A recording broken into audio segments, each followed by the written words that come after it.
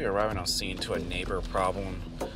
Uh, the reporting party advised at some point in time they could hear a, possibly a gun being cocked. How's it going?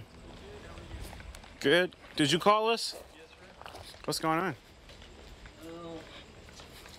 A couple minutes ago, I came downstairs. My wife and I are throwing out all the trash. Tomorrow's trash day, so we Mhm. rolled our trash cans out and put them out in the street. And he started yelling obscenities at me. He's like, "Keep your trash out of my side. This is my." I said, "Look, sir, the, the trash cans were in the street. They weren't on your property. I don't give a blah blah blah." The He neighbor started- just next to you? yeah, just next door. So then he's like, "You want to die tonight?" And then I hear a a gun. I'm gonna kill you. Come over here. He's like, I'm a veteran.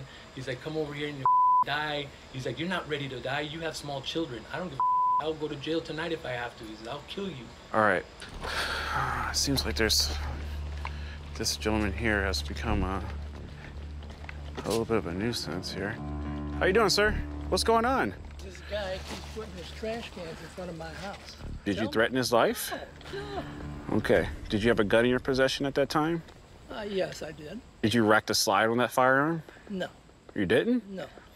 How would they know you had a firearm?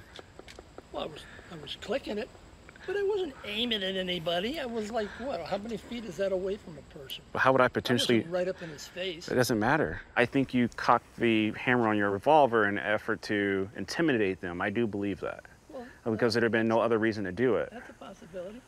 I'll, I'll pay for the polygraph test. Uh, we don't give I'll polygraph pay tests. polygraph. Give me a second, all right? Sure. All right.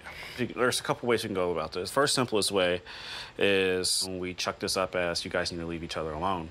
Now, I think I have enough to arrest him today. If you want me to, I'm not going to discourage you from doing that. And I don't want to cause anybody any grief. And again, I worry about the kids and my wife, and I just don't want to have any issues. It's fine. I'll trespass him from your property. Um, so that's going to give you another element. and I'll make it firm to him that he needs to leave you guys alone. All right, sir. So this is the deal, okay? One, you're trespassing from their property, okay? Um, you can't go anywhere on their property. So they don't want to press charges. They just want you to say, hey, just leave them alone. That's all they want. Well, that's, that's nice of them, but they don't want to press charges. Well, God bless you, sir. Take care of yourself, and thank you for your service. Sitting there in his chonies watering down his garage.